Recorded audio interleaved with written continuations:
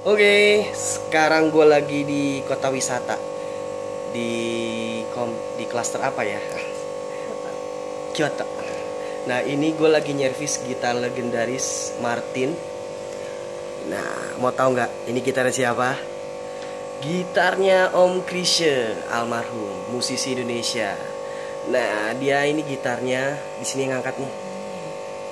Nah, udah gue beresin semua Nah ini gitar recordingnya dia yang ke-14 Martin Belum percaya eh, Punyanya Krisye ya Nih Nih dia ada ininya Tuh Krisye Ya enggak?